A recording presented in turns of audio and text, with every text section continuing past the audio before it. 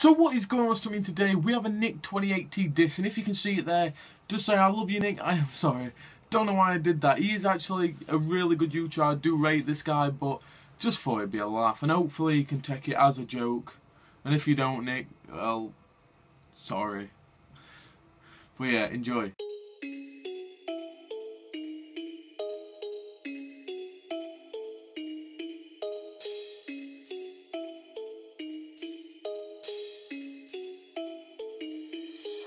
I like you're a nice bloke. You drink on Fridays but you don't smoke. You're a good guy and you live in Vancouver. When Steph's away you use a. This hasn't really been a roast, but when I'm done you'll be a ghost. So let's get into the good stuff. Let's warn you, it's a little rough. I once messaged you, I got no reply, I cried myself to sleep that night. You used to follow me, I was gas, but you will follow me super fast. I used to message you every day, no wonder you won't follow me, hey. Even tried going to be like you, but now I look like I'm in a zoo. The sport leads wide, to watch them you have to fly.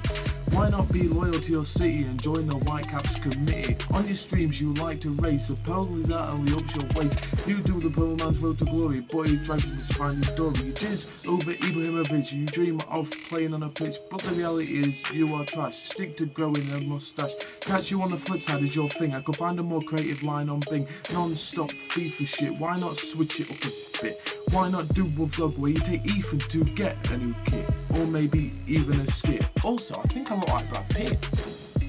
Hmm.